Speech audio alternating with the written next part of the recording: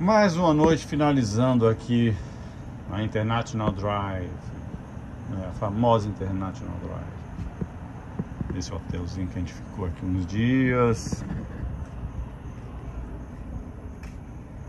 Bom perto do Dunkin' Donuts. Bem ali. Tranquilidade, nem parece estar na International Drive, ela é tão grande igual a John Young Parkway, que é uma avenida bem grandona também. E aqui essa paz de espírito, né? Outra coisa boa, né? Essas calçadas tudo aqui, ó. Um, um centímetro aqui de, de desnível, um centímetro.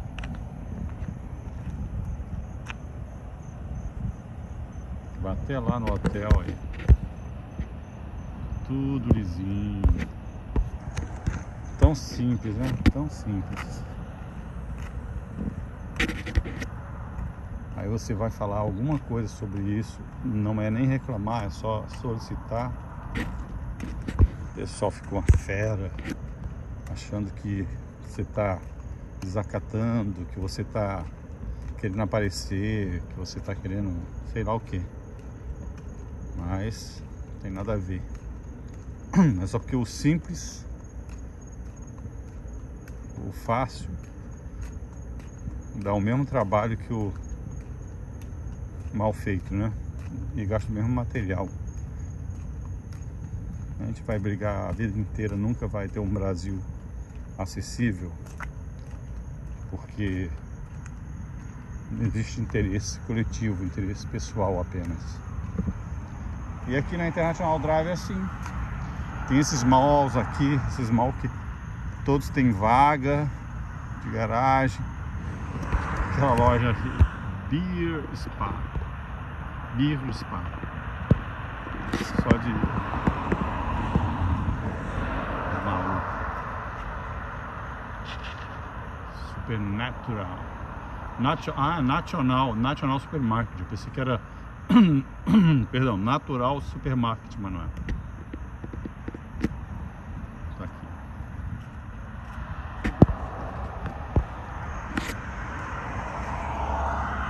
Me canso de filmar porque depois eu mesmo assisto, né? Matar saudade desses momentos aqui. As calçadas tudo maravilhosa, né? Uma coisa boa é que essas calçadas aqui são até pouco utilizadas pelo ser humano porque todo mundo aqui faz tudo com carro, né? Tudo com carro. Então, agora são meia-noite. Quando eu vi essa, essa churrascaria aqui, ó só. Você, vendo essa churrascaria aqui, ó. Da Silva Steakhouse. Você imagina o que? Da Silva. É isso aí, brasileiro, né? Desde 1971. Na verdade, de venezuelano. Eu liguei pra cá pra saber. Pensei que era um, um churrasco rodízio, mas não, é la carte. Mas as carnes venezuelanas, o pessoal sabe preparar bem. Preparam uma carne maravilhosa. Essas casinhas aqui na International Drive, incrível, né?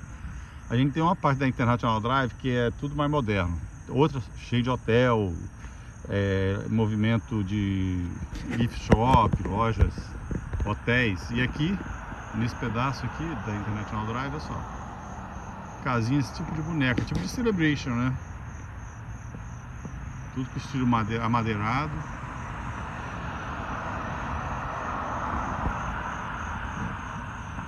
É muito legal essa mistura, você vê, vê uma parte assim, depois já vê diferente, então parece que você nem está na mesma avenida, parece que mudou.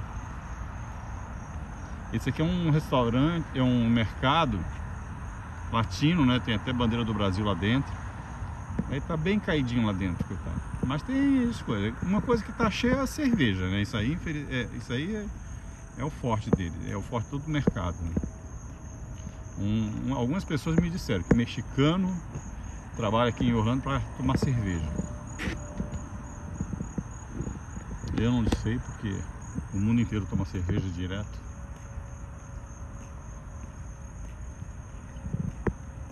Isso aqui é um. Essa hora, meia-noite, meia-noite e pouco. Deixa eu ver que horas são. Meia-noite quatro do dia 23 de junho. Você anda aqui tranquilo, de boa. Pode andar com o celular na mão, não vai ter ninguém aqui te fazendo uma emboscada, te roubando, né? Esse lado aqui na Flórida, pelo menos, não vou dizer assim que eu tive uma fiquei pasmo em saber que Mississippi é justamente o contrário disso aqui. Mississippi tem gente andando com metralhadora na mão e a polícia vê e não faz nada, porque eles ficam tipo um trato assim, ó, não me, não me incomoda, quem também não vai incomodar vocês. Mas que armamento eles têm. Mississippi, gente. Incrível, né?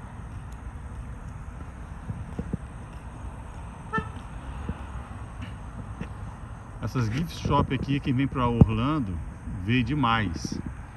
Geralmente todas elas são tudo iguais, né? Tudo igual. O que uma tem, a outra tem. Geralmente.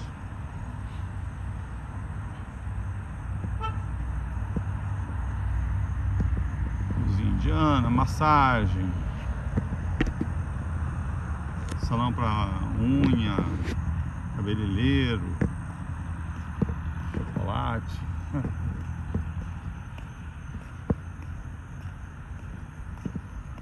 E tudo funciona, né? Com movimento, sem movimento. Sempre tem vagas aí, ó, um monte de vaga de estacionamento. É uma área tão grande em Orlando que a, pessoa, a gente só tem a certeza disso quando a gente está aqui. Olhando assim, todo mall, nesses, nesses shoppings abertos, eles têm um monte de vaga. Todos os hotéis têm um monte de vaga. Eles aproveitaram, planejaram tão bem isso aqui que pensaram em tudo caminhada de pedestre, grama, que aqui em Orlando eles preservam muito a grama toda cortadinha, toda bonitinha. Então Orlando quem vem viajar e é a primeira vez, não quer nem dormir. Quer só desfrutar disso aqui porque é muito legal. E um amigo meu, o Luke, Luke Dine, fez um ensaio fotográfico agora muito legal do Supernatural. E ele falou que quer passar o Natal aqui realmente ele vai se surpreender porque fica muito bonito. Música natalina em todo lugar, em todas as lojas. É, é um clima diferente, né? Inclusive se quiser comprar bolinha de Natal é, inspirada na Disney, no Star Wars, em tudo, todos esses personagens, você pode é melhor comprar agora. Né? Estamos em, em junho, porque no Natal aumenta bastante. Hoje você pega em promoção 3 dólares, uma, uma bolinha de Natal do Star Wars.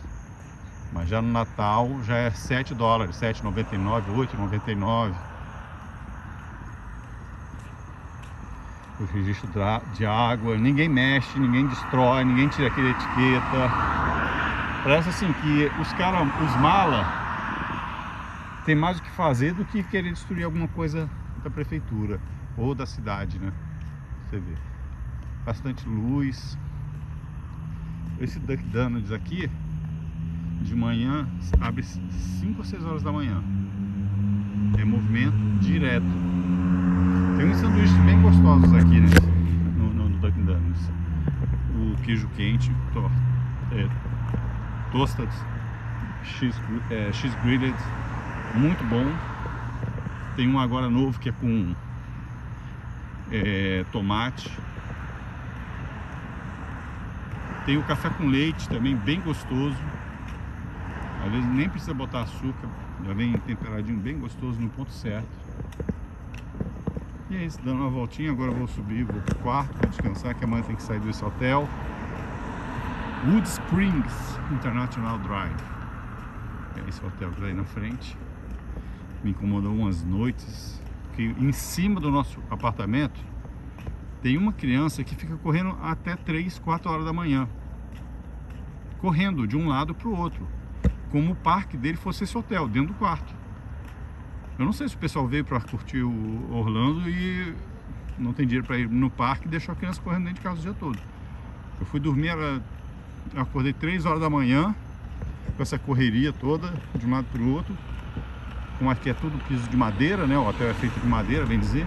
esses prédios aqui. E fui desmaiar 6 horas. 6 horas da manhã eu desmaiei. Quando deu 9 horas da manhã eu acordei, a criança continuava correndo, gente, pelo amor de Deus. Essa criança devia estar correndo só no, no joelho, porque ela gastou a perna inteira. Agora eu vou subir, descansar e